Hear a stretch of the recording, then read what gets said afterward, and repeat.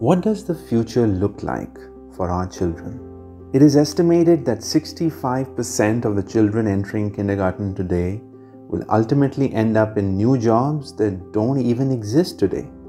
As educators, how do we prepare these children for a future we can't even imagine yet?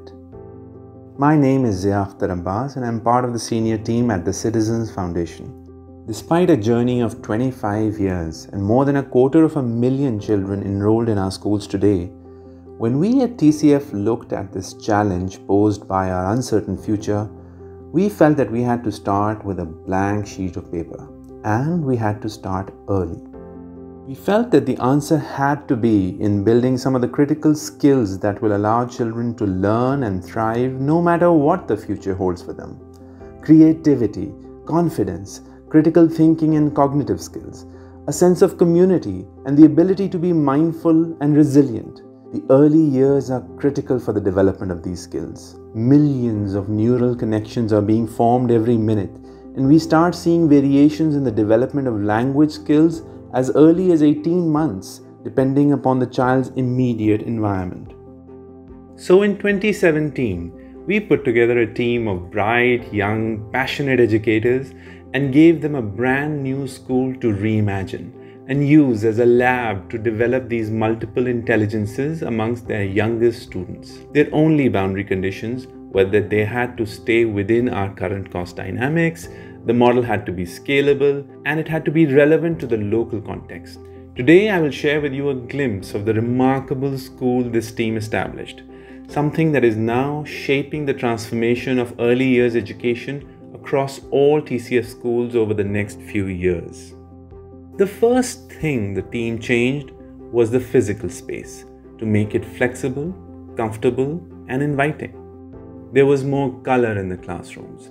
Children were provided resources at their own level to encourage autonomy and self regulation.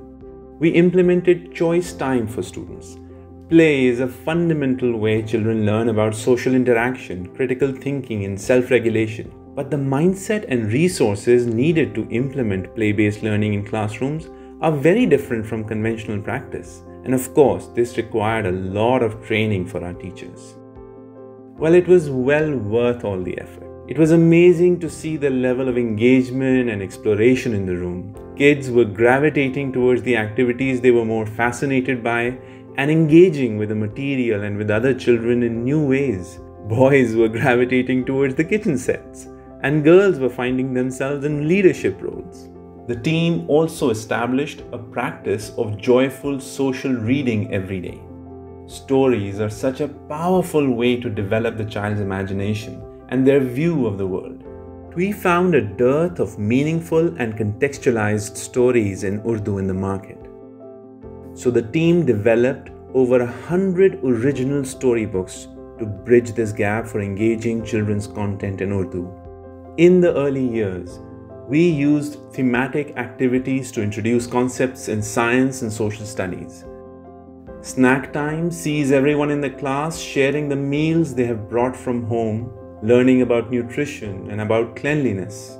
Exercise time introduced the children to yoga and exercise, as well as developing mindfulness as a habit. And we also set aside time for students to build community by sharing their experiences and developing a daily practice of talking about empathy and gratitude. To assess how children were developing through these months and years, teachers used the development of individual portfolios and observational records rather than tests and quantitative records. I went to visit the lab school to try and get a sense for myself of how these children are doing. As I entered the grade 1 classroom, they were in the middle of choice time, and this girl walked up to meet me and asked me if she could read me a story. I could barely manage a mumbled yes and a nod, and she was on her way. It wasn't that she had rehearsed the story to perfection, but even when she stumbled, she would smile or shake her head, comfortable in the knowledge that it was okay to be wrong sometimes. This is Shahir. He was in a class making paper planes. When I stopped to tell him what a wonderful plane he had made, he quickly ran away to fetch another girl his classmate, who actually makes the best paper planes in the class. He went on to praise her planes while she quietly blushed. we may not be able to imagine what the future will be like. But if children like these have a hand in shaping that future, then we can imagine a world where we are comfortable with ourselves and kinder to each other. Perhaps this is one way to shape the future, one amazing child at a time.